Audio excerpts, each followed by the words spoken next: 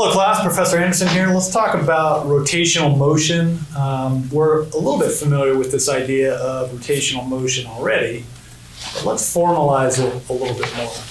And let's convince you that it's maybe not quite as bad as it seems. Okay, when we talk about rotational motion, what do we really mean?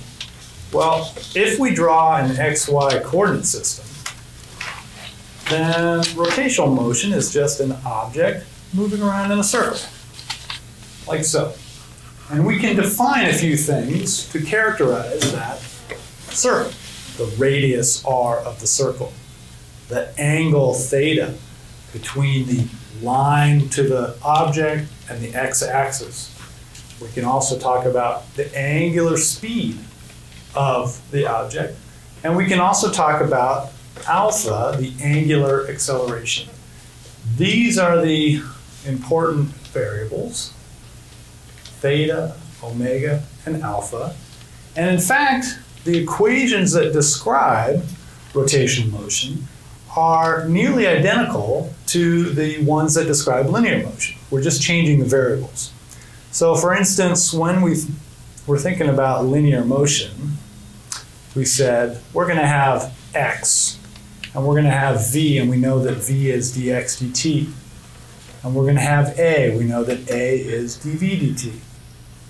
And now in rotational, we're going to do the same stuff, just change the variables. So instead of x, we're going to use theta. What's omega? Omega is d theta dt. What is alpha? Alpha is d omega dt. Omega is called the angular speed. Alpha is called the angular acceleration. Okay? Theta is, of course, the angle. And typically we use theta in radians. Now, if we're making these substitutions, we also realize that we have a whole set of equations, the kinematic equations, which govern motion. For instance, this one, x final equals x initial plus vx initial times t plus 1 half a sub x t squared. That's one of those equations. And we can write the corresponding rotational equation like this. Theta f equals theta i plus omega initial times t plus 1 half alpha t squared.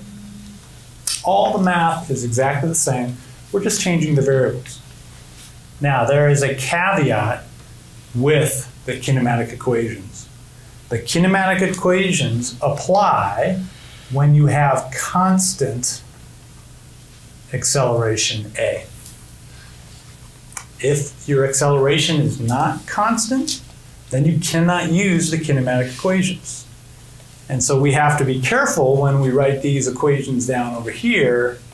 The caveat is constant angular acceleration alpha. But if you have constant alpha, you can use all of those kinematic equations that we developed before. Okay? Now, we also learned a little bit about some other terms in linear motion, like work. Let's see how that applies to rotational motion. Work, W, we said was the integral of f sub x dx, where we're going to integrate from some initial position to some final position. We wrote it with a dot product before, but this is the same information here. F is the x component of the force, okay, which is what the, dots, the dot product does. It picks out the x component.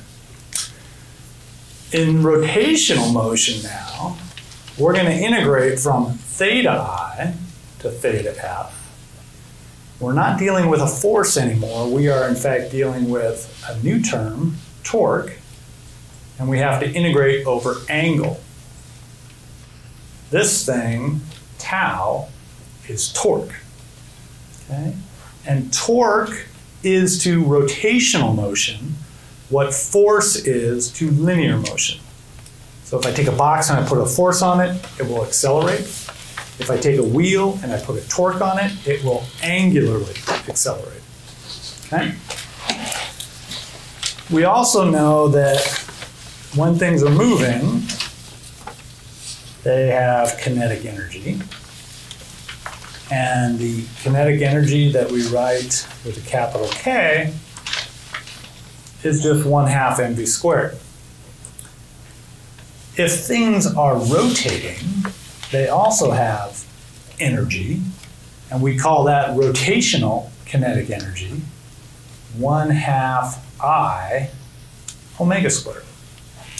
And now we've introduced yet another term, I, which is the moment of inertia.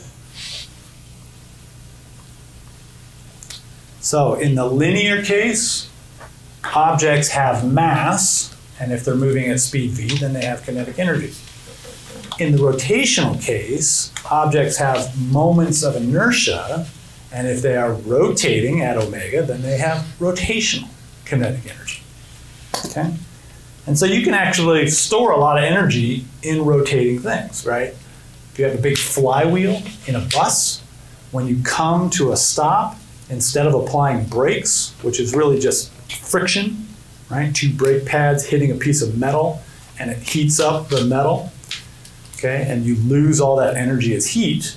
You can take a different approach, which is let's spin up a flywheel and now you have a big rotating disc inside the bus. And then when you start the bus up again, you can tap into that energy and suck it back out.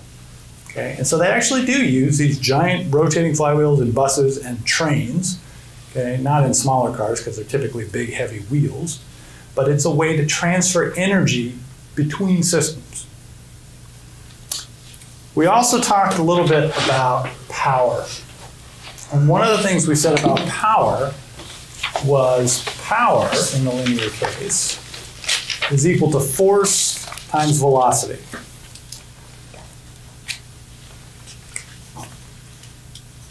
Okay, you apply a certain force to get your car moving, and v, the velocity, is how fast you're going, of course.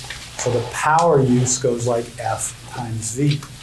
In the rotational case now, we don't use F anymore, we use torque. And we don't use v anymore, we use angular velocity omega. All right, so that's how much power is in a rotational system. So the whole point here is everything that we've learned so far in linear kinematics applies to rotational kinematics if you just change variables. And so this is the trick. It's sort of convincing yourself that there's nothing that complicated here. I just have to start using some different letters. All right? And these in rotational are apparently usually Greek tau and omega and alpha, theta. And these over here typically English letters.